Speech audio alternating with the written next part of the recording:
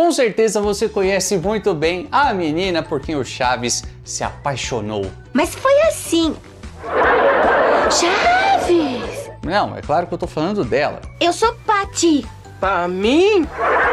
E sim, tem muitas coisas pra gente falar sobre a Paty. Muitos segredos, muitas curiosidades, muita informação que você sequer imagina. Então pegue o seu urso que caiu no barril e vem com a gente. Vamos lá. Essa é a primeira Paty? Eu não sei. Não, não é. O senhor Chespirito adorava uma boa e velha regravação. Então, essa Paty, apesar de ser a mais famosa pra gente aqui no Brasil, é da versão de 78. E a primeira Paty nasceu em 1972, nos primórdios de Chaves. Ela apareceu em apenas dois episódios, na verdade. Uma Vizinha, parte 2. Obrigada, Chaves. E Beijinhos, parte 3. Tia, olha! A Chiquinha quer me bater! Ué, Renan, parte 2, parte 3. Por que ela não aparece na primeira parte? Porque eu também não sei, mas ela não aparece. Na primeira só tem a Glória. Olá. Ah, mas o que significa isto?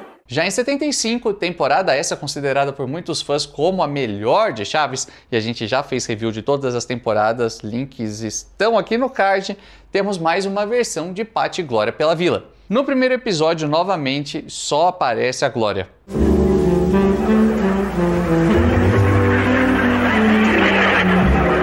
Mas aqui a Patty aparece em outros três episódios. Quer trocar o seu urso de pelúcia pelo meu? Não!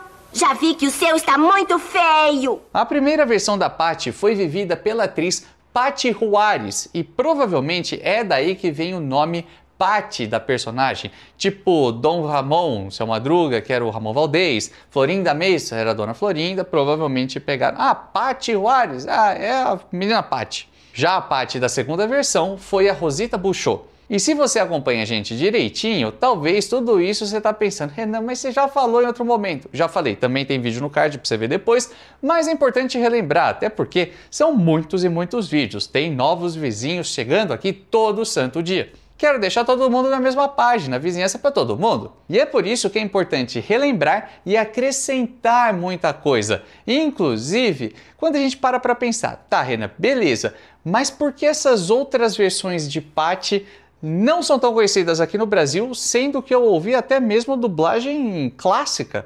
Peraí. Espero quanto quiser. Os episódios da primeira parte foram dublados no lote de 88, mas deixaram de ser exibidos pelo SBT em 92. Já os episódios da segunda parte vão além. Com exceção da segunda história, que foi dublada em 88 e só estreou na TV em 2012, os outros episódios foram dublados em 84 e também sumiram em 92. Traduzindo, a primeira parte que o Brasil conheceu foi essa. É tão bonita quanto a tia.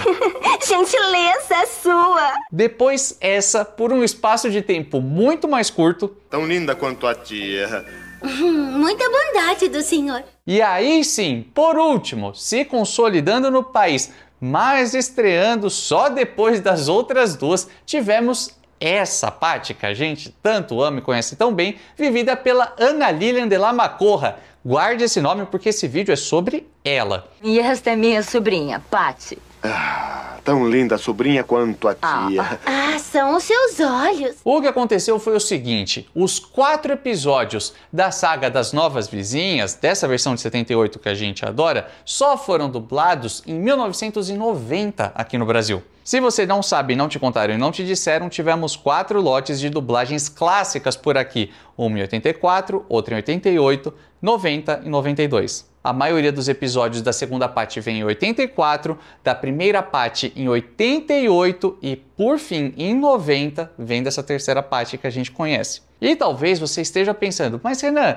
não é assim, você está exagerando. Eu assisti essas outras partes no SBT, eu conheci essas outras versões, até gosto mais delas. Pode ser. O que acontece é que, se você perguntar para 10 fãs de Chaves pela rua quem é a Paty, eles vão responder Ana Lilian. É inegável, incontestável isso. E dos anos 90 para frente tivemos o auge comercial de Chaves, mais reprises e tal. É o auge do sucesso mesmo aqui no Brasil. As outras partes sumiram em 92, lembra? Essa nem eu mesmo sabia. Ah, e um detalhe é que talvez você conheça e goste dessas outras versões da Patty por ter assistido em DVDs do Chaves ou de 2012 para frente, coisa assim. Tá, mas será que foi só isso que fez a Ana Lilian de la Macorra se firmar como a Patty absoluta aqui no Brasil? É claro que não. Ao contrário das outras Patties, vamos dizer assim, a Ana Lilian continuou participando de vários outros episódios, em outros enredos, em outros cenários e sempre sozinha. A Glória não volta mais. E isso me fez pensar: será que lá em 72, primeiro ano de Chaves, embrionário mesmo, o Chespirito quis colocar Patty e Glória na vila como personagens fixas e por algum motivo não rolou? Eu não tinha pensado, mas. Pode ser. Isso é achismo meu, que fique claro, faz sentido, pode ter acontecido, mas é supositório. E daqui pra frente eu levantei um monte de curiosidades, um monte de datas que são importantes, mas eu prometo, não vai ficar nada chato, não precisa decorar nada, não é Wikipedia em forma de vídeo não. Os quatro episódios das Novas Vizinhas foram exibidos lá no México em outubro de 78. E no último episódio daquela temporada, que foi exibido no dia 11 de dezembro, uma certa pessoa aparece, como quem não quer nada, pela sala de aula do professor Girafales. Bom dia, professor. Bom dia, linda. Você se lembra dessa história, né? O Chaves está totalmente vidrado na pátio o tempo todo. Chaves!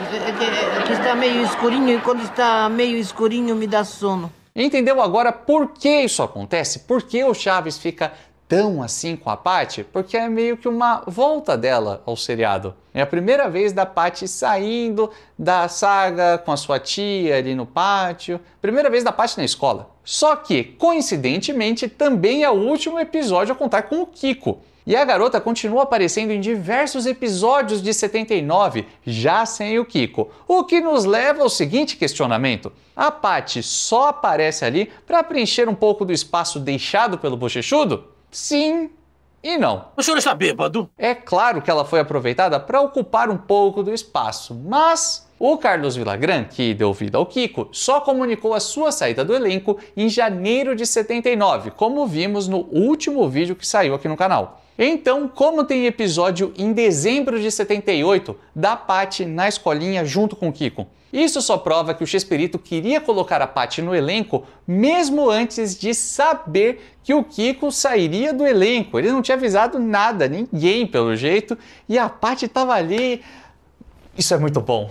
Caraca, não é por nada não, mas nessa aqui eu mandei muito bem. Você, fã raiz de Chaves, provavelmente nunca tinha reparado nisso. Sendo assim, acho que eu já vou dizer que nessa altura do campeonato você pode deixar o seu like, fazer sua inscrição no canal e até dar uma passadinha na nossa página do Apoia-se, dar aquela forcinha pra gente que é super importante, muito válida. Dá uma passadinha na loja da vizinhança, meu, faz de tudo, tudo isso. Se você deixar um like, você ajuda o canal. Se você comprar uma camiseta, uma caneca, você ajuda o canal. Se você se inscrever, ajuda o canal. Você ajuda de todas as formas. Pô, a gente merece, vai como você puder, como você quiser, da forma que seu coração e o seu bolso mandarem. Então não venha com esse papo, ah Renan, mas eu não tenho dinheiro. Não, mas dar like é de graça, se inscrever é de graça, comentar é de graça. Então, isso já ajuda bastante. Mas agora a gente vai além. Em 79, a Patty já aparece no terceiro episódio da temporada, que foi exibido no dia 12 de fevereiro. Tô falando do Dia dos Namorados. No dia dos namorados, temos que abraçar quem nós mais gostamos. É verdade? Ah, então vamos! E daí pra frente ela apareceu na escola em outros cinco episódios. Ela apareceu também no restaurante. Não podemos brincar, os três, de comer de verdadinha? Não. Comigo você brinca de bolo de mentirinha. Pois comigo você brinca de bolo de verdadinha. E até na casa do seu Madruga.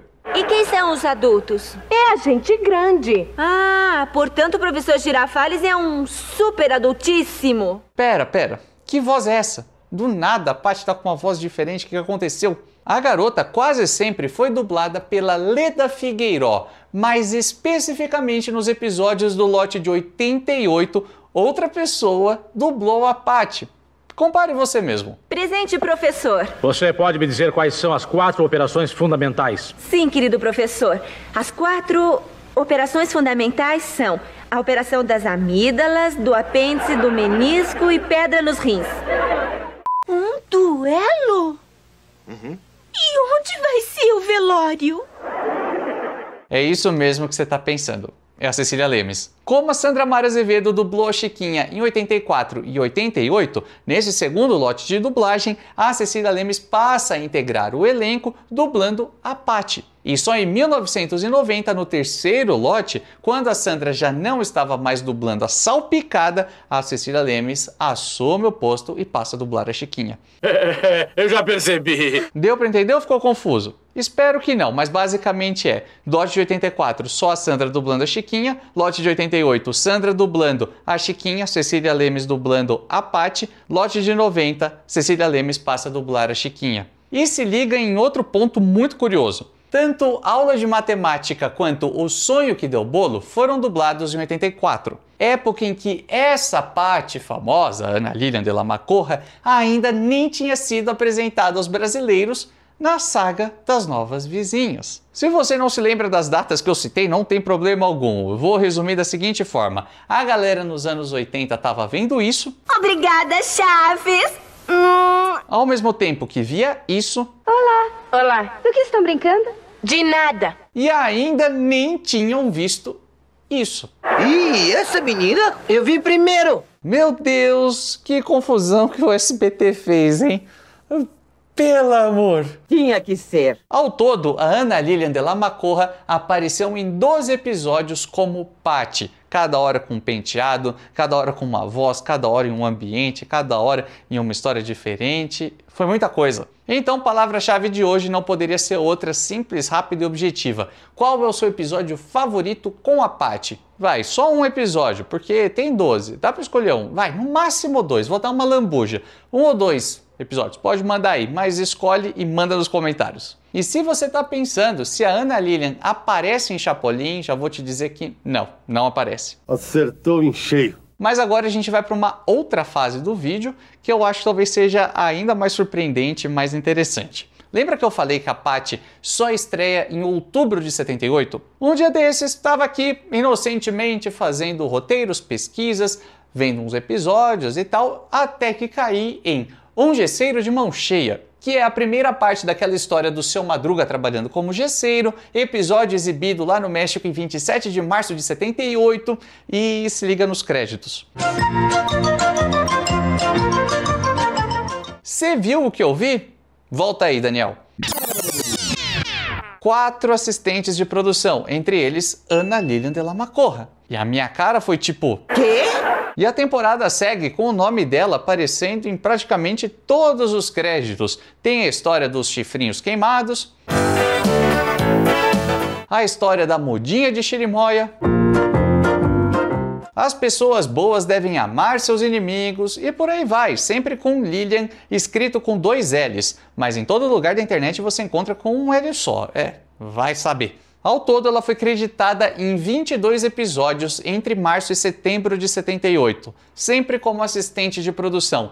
E acredite, eu chequei todos os episódios da temporada na mão. Se bem que no primeiro episódio da saga das Novas Vizinhas, os créditos mudam. Tudo fica mais curto, sem os nomes dos câmeras, da galera e tudo mais. É, pararam de dar créditos a todos os envolvidos. Dona traidora!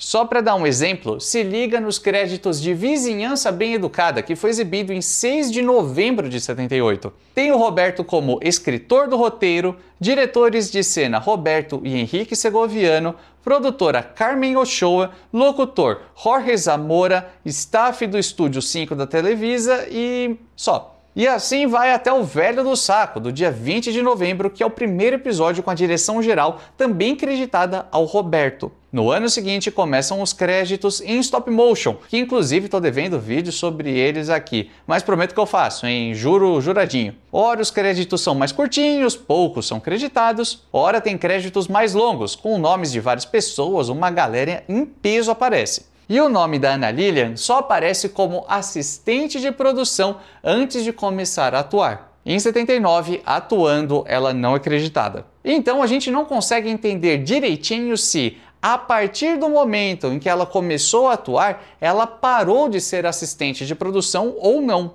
E em 2018, a Ana Lilian participou do programa De Noite do Danilo Gentili e explicou como foi de assistente de produção para Patty. Estábamos buscando a alguien que interpretara el papel de Patty y todas las actrices que llegaron al casting no parecían niñas. Não pareciam pequenas, No, tinham, tinham no, cara de adulta. No, parecían mujeres. E ela aceitou? No, no, gracias. Você rejeitou um convite do Roberto Gomes Bolanhos. Pues no, no, gracias. No era yo actriz. Não era atriz, tinha No. vergonha. E ela ainda deixa claro. Pues era yo asistente de producción, no actriz. Mas depois, o Roberto a convenceu de participar, gostou muito do resultado, começou a escrever mais episódios com a Patty, até que chegou um dia que a Ana Lilian já estava meio é, mais para lá do que para cá daquela situação, chamou o Robertinho de canto e disse: Ó, não me leva a mal, mas eu acho que nós devemos seguir caminhos diferentes, acho que essa relação está me sufocando. O problema não é você, sou eu. É claro que eu tô zoando, ela só pediu pra parar de atuar mesmo e o Roberto ficou de boa. A verdade é que ela não estava curtindo a vida de artista, a invasão de privacidade, ela é tímida e aí ela até recebeu outras propostas de outros programas, mas negou tudo. Você não gostou da carreira de- na frente das câmeras? No, sí me gustó como experiencia, pero no lo quería para mi vida, para dedicarme a eso en la vida. No, no, no era mi interés. Ainda assim, ela ama ficar perto dos fãs. Es más que divertido, porque, por ejemplo, hace dos años que vine y, todo lo, el intercambio con los fans es amorosísimo, es lleno de alegría y de, vida y, y les tengo mucha gratitud, porque fue una experiencia, me gustó más la experiencia de los fans aquí en Brasil que haber trabajado en el Chávez. Resumindo, ela era uma jovem de 20 anos quando começou a trabalhar como assistente de produção no começo de 78, virou atriz meio sem querer querendo, e a sua última participação como Patty foi exibida em 22 de outubro de 79. Ao todo, foram 12 episódios em um ano que a Patty apareceu. Essa aqui é a sua última cena. Você quer ele? Sim. Pois toma!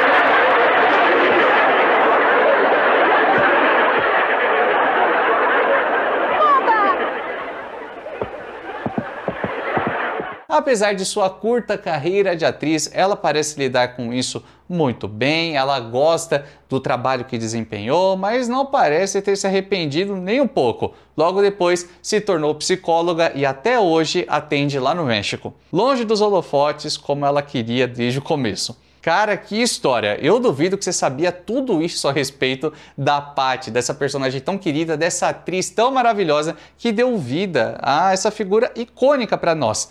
Porém, as curiosidades a respeito de Patty Glória vão além. Você sabia que até a enteada da Chiquinha foi uma das partes? Eu sei, isso parece uma loucura, mas é verdade, não é mentira, pode confiar em mim. O vídeo que está aqui do lado prova isso, com datas, com imagens, com fotos, com tudo. Você vai ficar craque no assunto Glórias e Pates, porque tem muita coisa legal para descobrir e a gente se vê no próximo vídeo nessa mesma hora e nesse mesmo canal.